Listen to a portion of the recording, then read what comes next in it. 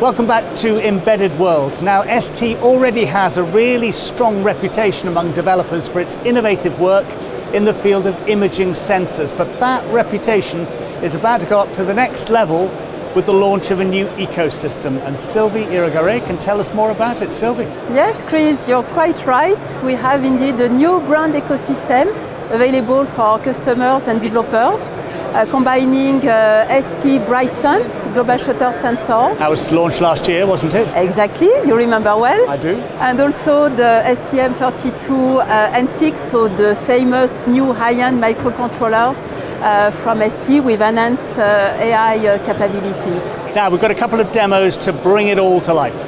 Exactly, and one of the first demo is this AI camera assistant kit on which we have the VD55G1 0.6 megapixel global shutter sensor along uh, with the STM32N6 and on this first demo the application is uh, people segmentation body posture and we plan of course to develop uh, new applications in the near future so let's stay tuned we will find more. So, so what would be a real life example of this, the value of this? One of the main example will be to detect when, for instance, someone is lying on the ground and may need assistance. In a hospital or? In hospitals, exactly, retirement home. Okay. So it's uh, important. Early warning system, really, exactly. get them help. To send an alert and to uh, inform that this person is, uh, is in bad condition. Very clever. So uh, yeah, exactly. So for, I would say, all markets related to people, healthcare slash medical. Yeah. Okay, let's move on to our second demo, which is focusing on barcodes. Exactly, and barcode is uh,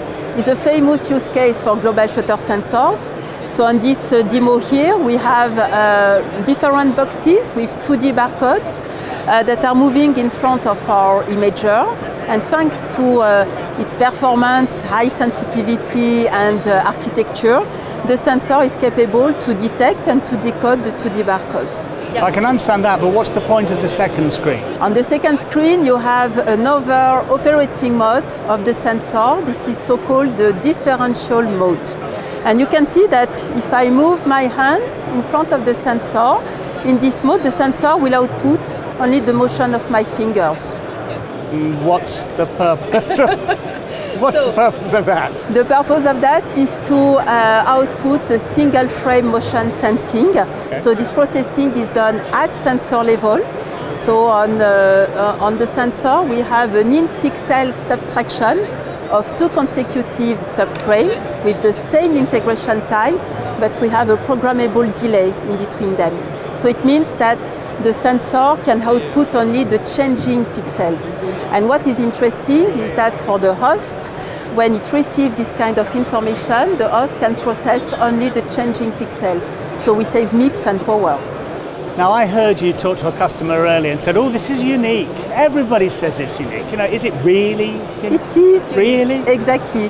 Why? Because ST is one of the sole company capable to propose uh, camera software drivers, including ST BrightSense imagers, and also the STM32N6, but also the MP2, uh, and the other microcontrollers like the H7, uh, U5, H5, so and many more. Lots. A lot. Listen, finally, where can viewers find out more? On ST.com, of course.